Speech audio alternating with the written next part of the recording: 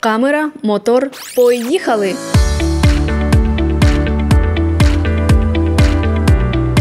Вони не уявляють свого життя без мікрофонів, камер та прямих ефірів. Щодня вони працюють, аби тисячі українцям забезпечити одне з основних прав громадян право на отримання інформації. Так, вже 27 років поспіль, 16 листопада, своє професійне свято відзначають працівники радіо, телебачення та зв'язку. Наскільки сьогодні глядачі задоволені роботою сучасного телебачення? Наша знімальна група дізнавалась у пересічних херсонців. Много рекламы, э, больше, э, мне кажется, насыщенное телевидение информацией, которая, наоборот, пугает сейчас людей. Убрать бы эту информацию. концерты, фильмы, потому что там столько каналов, много, а смотреть, в принципе, нечего. Може більше е, видовищності, може більше е, ярких барв, е, може більше правди, е, менше агіток і більше е, чогось смішного.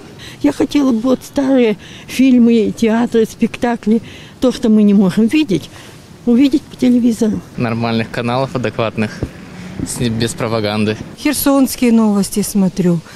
Ну, хотелось больше, чтобы рассказывали о том, что собирается наш мэр Колыхаев делать в будущем в Херсоне. Политики, по-моему, достаточно. Развлекательного можно было бы такие вот концерты. И чтобы не поздно, потому что пожилые люди мы не можем допоздна сидеть. То, что люди слышат из экрана телевизора, также они все это себе принимают к себе и потом также общаются с родственниками, со знакомыми, передают эту информацию другим. Поэтому я считаю, что позитива должно быть больше. Фильмы одни и те же. 24 часа в сутки, даже на платных каналах. От политики бы отошли дальше. Это чересчур политизировано. Мне нравится, когда есть видео с места событий без комментариев. Но хотелось бы свою точку зрения самостоятельно сделать. Мне там вот эти танцы с зерками и все это не, и, и тому подобное, это не мое. Как сядут на что-то и не срезают, ну, ну, ну годами, наверное. Современное телевидение э, вполне справляется со своей задачей.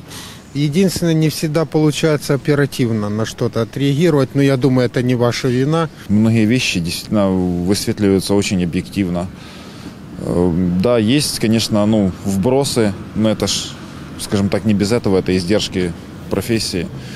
Есть ну, манипуля- манипулятивные в чем-то э, материалы, но в основном, как бы, я думал, что телевидение на, на достаточно хорошем уровне. І хоча розслідування та викриття набирають чималих переглядів, більшість опитаних нами херсонців у першу чергу виступають за позитивний та розважальний контент. Не менш важливим під час перегляду для глядачів є і оперативність та об'єктивність. Бути медійником це нелегка, серйозна справа, кажуть херсонці. Тож у такий святковий день не залишили нас без привітань і побажань. Делайте годный контент, говорите людям правду, самое главное правду, потому что мы знаем, что наши новости это то, что можно говорить, вы, э, вы там, допустим, еще оставляете. То, что нельзя, вы вырезаете потом просто и все.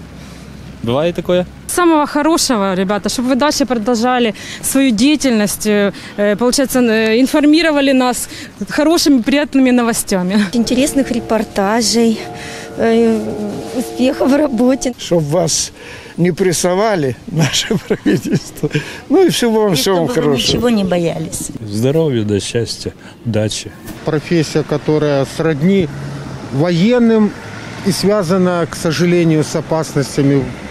То есть вам здоровья, наснаги и всего самого хорошего. Желаю, конечно, чтобы побольше было позитива в телевизоре.